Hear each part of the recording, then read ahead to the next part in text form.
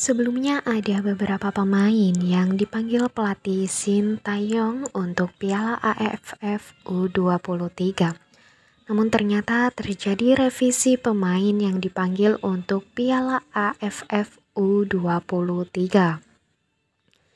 Bahkan ada enam pemain yang batal membela timnas untuk ajang tersebut yang akan digelar pada hari Kamis. Enam ada Haikal Alf Hafiz di mana Haikal sendiri merupakan bek kiri PSIS Semarang. Haikal sempat muncul dalam bocoran pemain yang akan dipanggil oleh timnas. Namun sayang dalam daftar revisi, pemain nama Haikal Al-Hafiz ternyata tidak muncul. Tercatat di Liga 1, Haikal sendiri telah turun dalam tiga pertandingan di Liga 1 2023-2024. Selanjutnya yang kelima ada Muhammad Taufani, gelandang Borneo FC. Muhammad Taufani masuk dalam daftar para pemain yang batal membela timnas. Pemain yang berusia 21 tersebut juga tidak masuk dalam daftar terbaru pemain timnas. Sangat disayangkan sekali ya mengingat performa Taufani di timnas.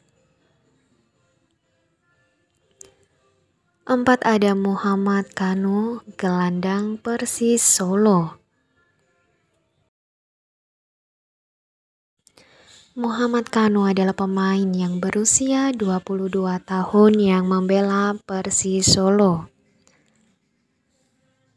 Dirinya juga masuk ke daftar para pemain yang batal untuk membela timnas Indonesia. Dirinya batal membela timnas di Piala AFF U23.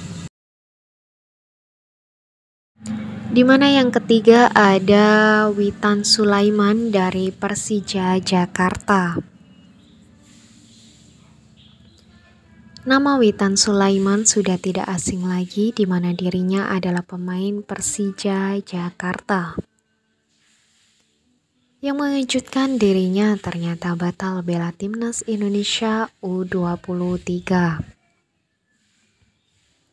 Jika dilihat performa Witan cukup bagus di Liga 1.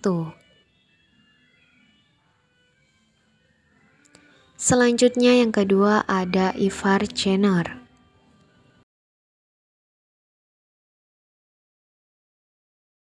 Di mana Ivar Jenner adalah pemain yang kini membela tim muda FC Utrecht.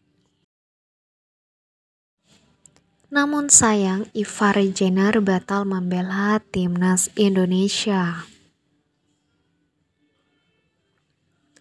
Setelah sebelumnya dirinya membela timnas saat melawan Argentina dan juga melawan Palestina. Di mana yang ke satu ada Rafael Struik.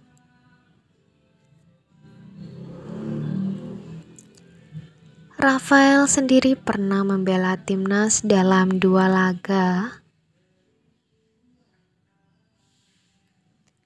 Namun sayang sekali dirinya tidak masuk ke dalam daftar pemain timnas U23 di Piala AFF. Sayang sekali ya di mana sebelumnya nama Rafael sendiri sempat masuk dalam skuad.